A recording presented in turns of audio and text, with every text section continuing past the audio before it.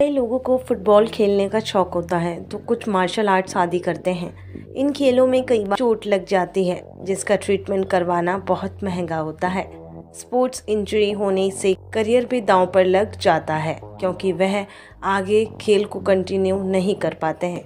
अगर मैदान में खेल के दौरान उन्हें चोट लग जाती है ऐसे में कुछ एहतियात खिलाड़ियों को बरतनी चाहिए। देखिए स्पोर्ट्स इंजरी अगर मैं बोलूँ तो कॉमन है जो आपके यंगस्टर्स हैं जो आपके रेगुलर प्रैक्टिस करते हैं या जो ट्रेनिंग करते हैं आप आर्मी की या पुलिस की उनमें भी स्पोर्ट्स इंजरी काफ़ी कॉमन होती है।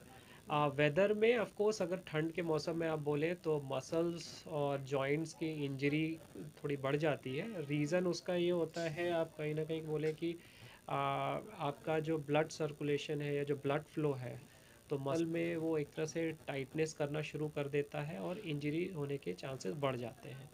ओवरऑल इनसे बचाव का सबसे बढ़िया तरीका ये रहता है कि कभी भी आप कोई भी एक्शन में आप आ रहे हैं स्पोर्ट्स खेलने जा रहे हैं तो आप सबसे पहले प्रॉपर वार्म अप करें। वार्म अप करने का टाइम कम से कम पंद्रह से बीस मिनट दें। उसके बाद आपको जो ट्रेनिंग करनी है उसका एक थोड़ा सा रिहर्स कर लें। इन फॉर्म ऑफ़ उन एक्शंस को रिपीट कर लें, वो वार्म अप के दौरान ही। हल्की सी आप स्ट्रेचिंग पहले भी कर सकते हैं डिपेंडिंग गेम टू गेम के ऊपर निर्भर करता है। इन सब करने के बाद अगर आप गेम में या प्रैक्टिस सेशन में जाते हैं तो इंजरी के चांसेस काफ़ी कम हो जाते हैं। साथ ही गेम ख़त्म होने के बाद प्रॉपर कूल डाउन और स्ट्रेचिंग ये अगेन बहुत इंपॉर्टेंट होता है। और साथ ही साथ आप कितना लोड दे रहे हैं, वो भी बहुत इंपॉर्टेंट होता है। आपको बहुत ज़्यादा लोड एक बार में नहीं देने होता है स्पोर्ट्स में स्पेशली अगर आप धीरे धीरे अपना लोड बढ़ाते हैं तो आप इंजरी से बच सकते हैं। देखिए, अगर आपको इंजरी हो गई है और उसका सबसे इंपॉर्टेंट इंडिकेटर होता है पेन जो दर्द होता है, वो हमें एक तरह से बॉडी का एक इंडिकेटर है, जो आप बता रहा होता है कि आगे अभी कंटिन्यू नहीं करना है आपको।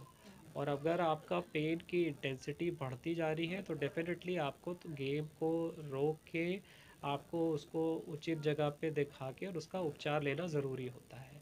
अगर आपको मसल्स और जॉइंट का पेन है तो आप कहीं पे भी अगर आपका स्पोर्ट्स मेडिसिन का क्लिनिक है, वहाँ पे आप दिखा सकते हैं।